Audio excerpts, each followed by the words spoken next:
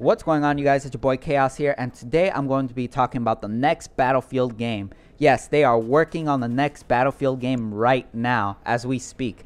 They just announced this like a few weeks ago on Twitter. Like some of the really huge developers who actually make uh, Star Wars Battlefront, they're actually working on Battlefield as we speak right now.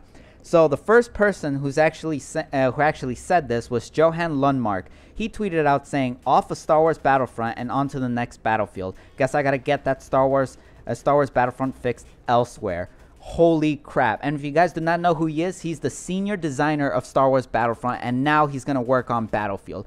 Nobody knows which Battlefield game is going to be. It could be Battlefield 5, or it could be Battlefield Bad Company 3. Now, the next person who tweet, uh, tweeted out, he's a development director of Star Wars Battlefront. He tweeted out saying, Now that we've shipped Battlefront and a part of the team continues to work on it, I am moving on another project, the next Battlefield. Like, what the heck? Like, holy crap, that, that's pretty crazy, right? So, what they're doing right now is the core team is still going to work on Star Wars Battlefront because like obviously the DLCs and obviously the the free maps that they're going to work on and yes they have confirmed that there's going to be free maps on Star Wars Battlefront. So if you have Star Wars Battlefront they've confirmed that they're going to make free maps. Just be wary on on the free maps okay?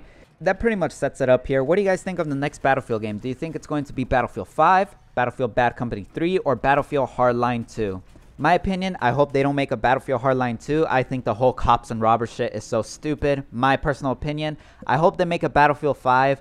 Battlefield Bad Company 3, I'm not too sure about it because I never played any of the Battlefield Bad Company games.